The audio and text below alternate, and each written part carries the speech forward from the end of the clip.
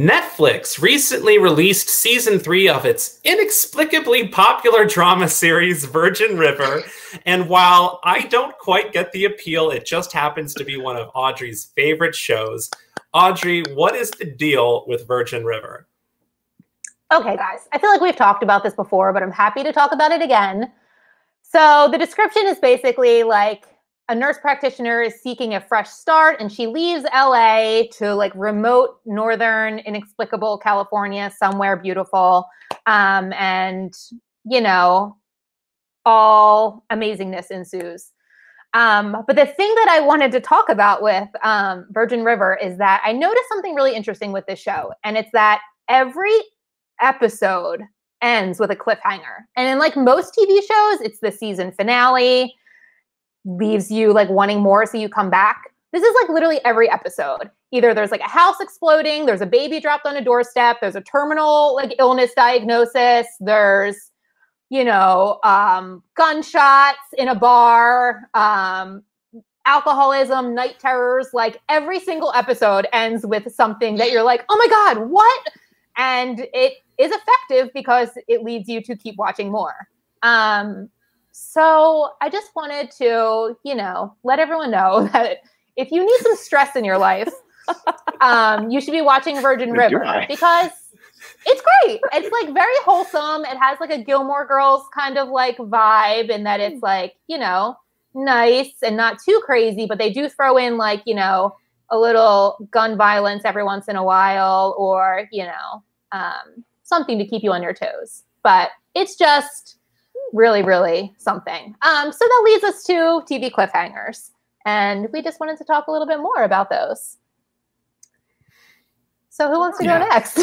who, who, was starting? Was it who, who was starting this segment? Like, was it I feel like Kayla. yeah, I feel like I'm I feel like I'm next. Yeah.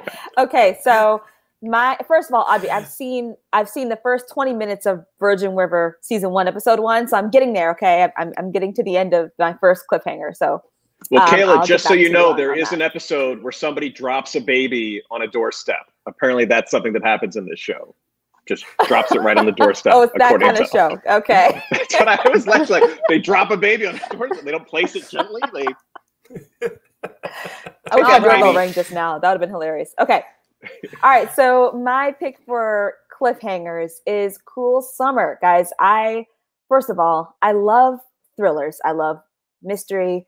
I love 90s stuff. So this is all three of those things. Um, and the season finale was a, a quite maybe a few weeks ago. Um, but it's it was just so memorable. And the series is basically about, you know, it's told over three summers in the 90s, and a girl goes missing and another girl mysteriously kind of takes over her life. And so it's going through like 1990, 90, 91, and two or something like that. I don't know. But each episode uncovers a clue about what really happened to the girl who disappeared. And you get to go back in the past and trying to piece the clues together. And I love shows like this because at the end of each episode, it you get just a little bit, just a little nugget, and then it's over. And you have to tune in the next week to see what it's about. So it's it's like you're the whole time you're just trying to figure out what happened. So I think these are the some of the best cliffhangers at the end of season one my theory was correct. I'm not going to say my theory because I don't want to ruin it, but it was correct. But it also there's more to the story, and now I have to wait another year to see what happened. So, Cruel David Summer. and I both watched and loved Cruel Summer as well. Oh. Um, it was so, so good. good. and then as a '90s like kid, the music was so good. Um, mm-hmm. But that's just a small part of yes. the show. But yes, it was excellent. So good. Yeah, that's that's one of those like. I think so. That's just a really great summer show, as the title would suggest. So if you haven't seen it, like, it's it's it's worth your time for sure. I feel like I should have made three other titles. Um, unlike kind of similar to Cool Summer, we can guess what the title was. So, so you could guess. That sounds like a Lifetime movie network movie. They'd all be Bananarama songs. um, so Gordon, what is what is your most memorable uh, cliffhanger? I went really obscure uh, with mine, so I'll have a lot of explaining to do. It's a little show called uh, The Office, which was a, uh, a, a an office comedy uh, that was used to be on NBC. Uh, and basically, they were really good at their cliffhangers. I was a big uh, PB and J guy. Pam Beesly and Jim. will they? Won't they ever get together? And uh, I was actually talking to David about this earlier today, and he wanted to know if my cliffhanger was the was he might have picked a better one than I had, which was at the end of Casino Night when uh, Pam and Jim finally kiss, and then who knows what's going to happen. But I went with a little happier of a cliffhanger. The following season, uh, Jim uh, Pam has ended her engagement. Uh, Jim is now dating uh, somebody else. he goes off to New York to try to get a new job, and Pam's explaining why she's happy for him and why she you know wishes the best for his future. Uh, and then you find out he bailed on the job interview. He comes back, asks her out to dinner, and she says yes. And probably the only cliffhanger that had me jumping out of my chair and dancing around my living room. So, um, in, for in that instance, for those two, it was nothing but romance. Uh, they were clearly both in the need of love, um, and love is better in the office.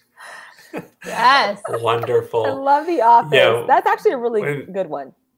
Yeah, I, am not exaggerating. I was like, I was just so happy that they'd finally pulled the trigger on that one, and those two were getting together. And Jenna Fischer plays it so well because he says it's a date, and it cuts back to her, and she has like the watery eyes, like her her joy in that moment. Like you you felt that. Um, and I think honestly, like The Office is one of those shows where when the will they won't they Sam and Diane couple finally got together, it didn't get worse. It got worse for other reasons, but not because sure. they got together.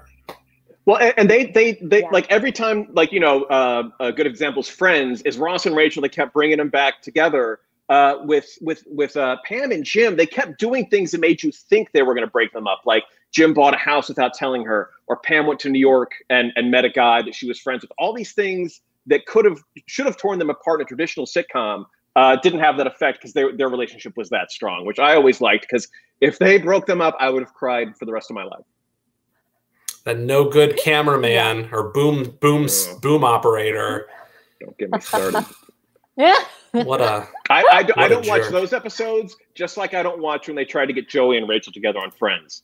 Won't watch them. yes, they don't exist in my in my canon. Those episodes don't exist. I don't watch them either. Um, all right, my my cliffhanger episode. So during The Simpsons' sixth season in 1994 and 1995, the show was at the height of its popularity, netting anywhere from 11 to 22 million viewers per episode.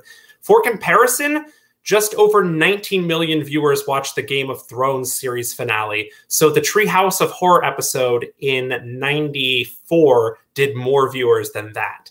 Um, and so on May 21st, 1995, at the end of the season six finale, The Simpsons appeared to kill off one of its main characters when an unknown assailant shot lovable power plant owner C. Montgomery Burns for trying to block the sun from shining on Springfield. Now, everyone was a suspect. Homer, Bart, Lisa, Smithers, Skinner, Moe, Barney, Grandpa, Groundskeeper Willie, Lunch Lady Doris, Tito Puente. Fox even ran a contest over the summer of 1995 where you could write in and guess the shooter for a chance to be animated into a Simpsons episode.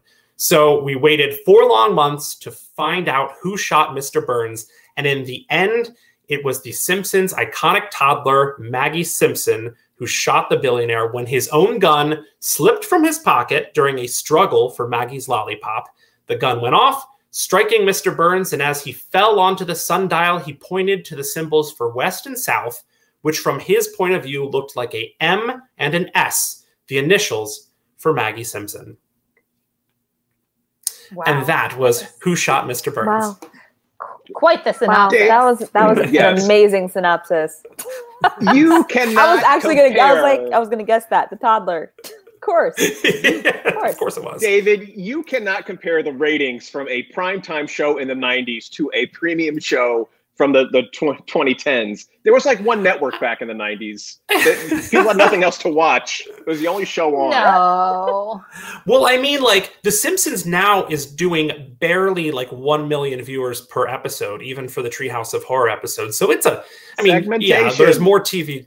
There's more TV to watch, Video but it's games, a, social media, the internet, rocket ships. But imagining more people tuning in for an episode of The Simpsons than they did Holy for moly. Game of Thrones. yeah, no, it's, Holy it, it is amazing. It's just, but it's not be- that, that like it's like there's just too much these days. Is, do I sound There- old? Is that that's what I'm going for? Have we gotten to that point? Just stirring the It is- now you pot. can do your old We're, jokes. ge- we're getting there. We're Now getting you Yeah. can do there. your old jokes.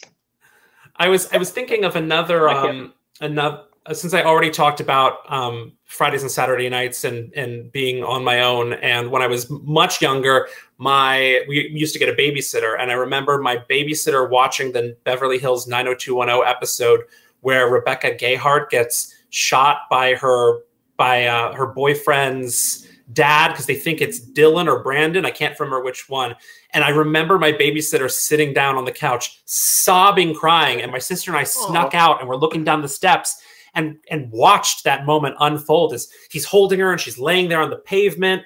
And I don't know if that was a cliffhanger. It was just like a really awful uh, finale. Heartbreaking. It was. I wasn't allowed to watch Beverly Hills as a kid, but I watched it later in life, um, and I do remember that, and it was very sad. She was like, it was like in the alley, like outside of something, right? Like next to a car.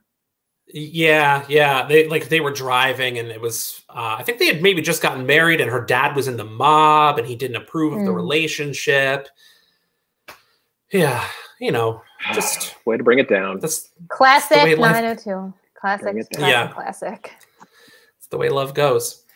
Um, before we head out for the week, um, wait, what, do I have to? You want to check out, uh, you know, more finales and and all that? Just say what to watch.